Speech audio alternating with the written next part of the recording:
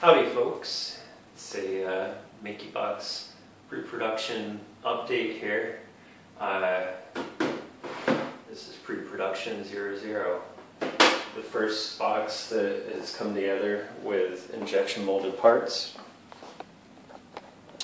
So, what you see here is the collection of uh, injection molded parts that it would take to put one together. So this is this comes off together in one piece, uh, connected with that. Um, you've got all these POM parts in one go. Uh, taking all the ABS now. Keep in mind these are pre-production, so the uh, the colors are not actually like at all something that we chose or anything like that. These are just whatever. Typically, uh, first shot parts are going to be just whatever they happen to have lying around. So we've got all the ABS parts. Uh, these brown ones are all the ABS parts that we're doing for a set. You've got these. This is the back panel. Side panel. So this is what supports the z-axis. And the base. Uh, you can see that the finish is, especially on this side, you can see it's uh, kind of a matte right now. That gets polished out uh, in the next stage. And we'll be applying our logo and things and other tool markings to it. So that's kind of what happens uh, in the whole process. And alrighty, so let's move on to the pre-production unit itself. So uh, you can see it looks like a MakiBox. Well, big surprise, right? Um, so the the drive blocks now are the two piece so you can see right here. It's a little bit hot light-wise in here, but yeah, you can just see the, so basically those little fins right there, those are flexible. Uh, so that's basically the anti-backlash. So when we, when you run your, uh, basically when you, when you run the screw into it, when it engages, this fixed set of screws is always going to basically they're offset uh, from here to here. They're offset by half a millimeter. So until all this material wears out by half a millimeter, they're always going to be very tight, and that's exactly what we're seeing. Is that the um, the drive itself is nice and and tight as soon as you put it in. Um, let's see. The production hot end uh, assembly is pretty similar to what we're what we've been doing. Uh, the main difference is basically we've just kind of rearranged things. Uh, it should take out some more of the play that some of the beta ones had.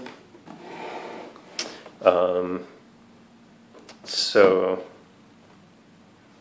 the one of the major things, one of the major differences for this assembly is the z-axis assembly is a lot simpler. Um, there's holes for like screwing stuff together or tightening things up if you need. Uh, some changes that we're going to have in the tooling. Uh, so basically, what the next stage is is I'll go back to the tooling factory and say, okay, we need to change X, Y, and Z. So, like, basically modify some clearances. So, tightening up, uh, basically, there's a little bit of play that will allow this to, to wiggle uh, that we can take out. Uh, there's, we need to tighten up uh, between the drive rod and this guy a little bit.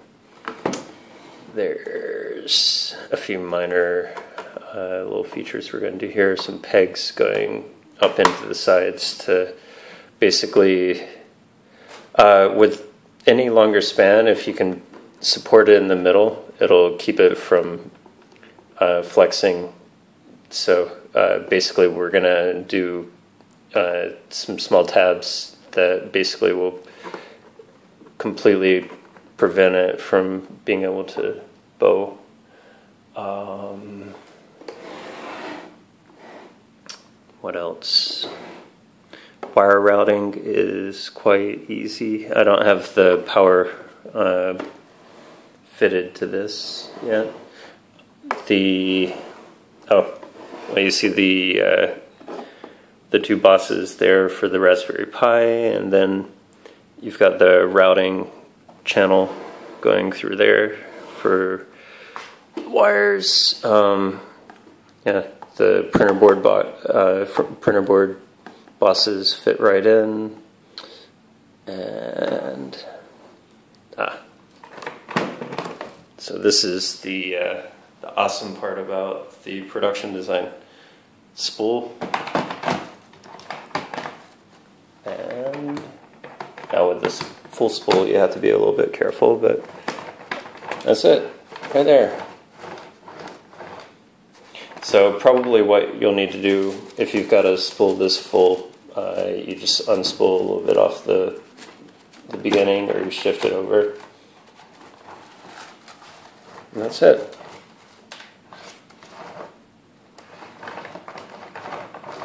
Works like a charm.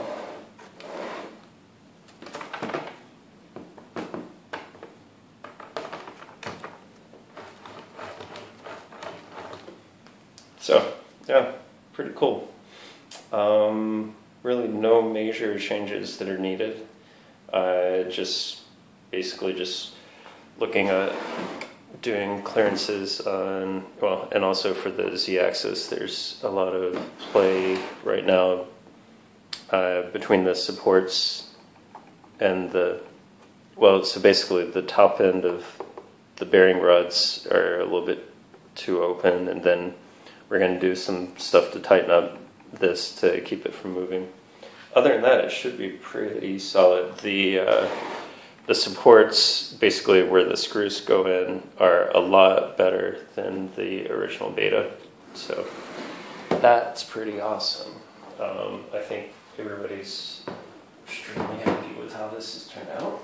And then, okay, so um, so this is beta 2 and it's uh, Box LT guys uh, in term well of course the LT doesn't uh, get the black panels but this is our test basically a test bed for the LT um, it's polycarbonate and seems to work pretty well so these are examples of PLA. Looking pretty sweet.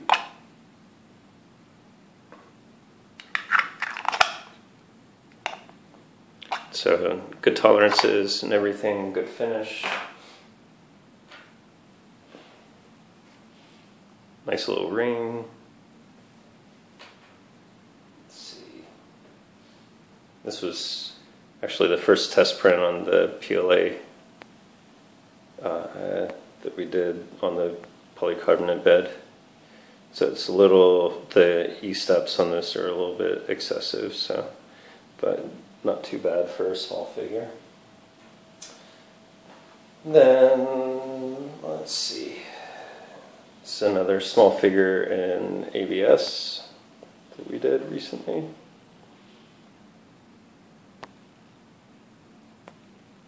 Let's see if I can get there we go. And then another one.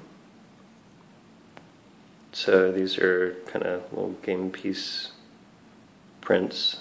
It turns out pretty well. I think um, what we're seeing is probably for really amazing prints, you're going to need a either a fan or uh, probably to look at controlling the temperature of the bed very carefully uh, for the first ones. Some more small figures in ABS and Army Green. There's a little bit more uh, dodginess to those. Those are kind of early. Uh, castle that has a whole bunch of little details that you could probably get um, significantly better output if we uh, kept on modifying the slicing settings for that. Uh, just a random, uh, another geometric base in blue. Uh, another set of gears uh, in green just because it's a little bit easier to see the detail. That. Um, now, here's an interesting thing. This is a Yoda done at 50 microns, so half of the uh, layer height typically. This is done hollow, so there's basically there's some holes. Uh, the lighting's kind of crappy for showing it. There we go. There's some holes around both this part of the neck and the head that didn't come out because there's absolutely no support inside. But if you want to see what 50 micron layers look like, there you go. So it's, it's extremely smooth uh, as far as the surface appearance. This is the same model uh, done without, again, without any supports to the head, and there's some holes in the shoulders, but um,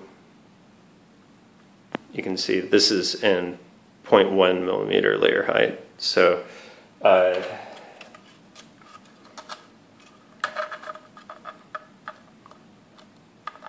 So you can see the 0.05 millimeter is definitely a little bit smoother, but pretty nominal. Um, here's a a crown. Unfortunately, this print didn't finish. We left it going overnight, and the uh, is a full spool, and it got caught, uh, so it didn't finish out. But you can see the the yellow our yellow is uh, like it's good and solid as far as the lamination and everything. We haven't had any problems with that. Um, I know this is a little childish, but uh, poo uh, that we did with the uh, coffee brown. And yeah, so that's, that's pretty much it for uh, this stuff.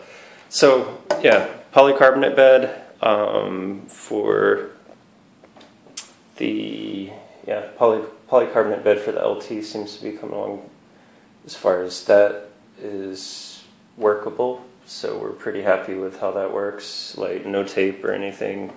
Um, doesn't melt. It does. You do get residue from whatever the last print was that you did, but you could probably uh, we can probably figure out how to clean that off in between prints if we needed to. And yeah, so next steps, um, we'll do some updates for the tooling, and so probably within about one and a half, two weeks, so basically by the end of June, uh, we should have full production start. So that's pretty cool. Alrighty, so that's it for today. Catch you all later. Bye.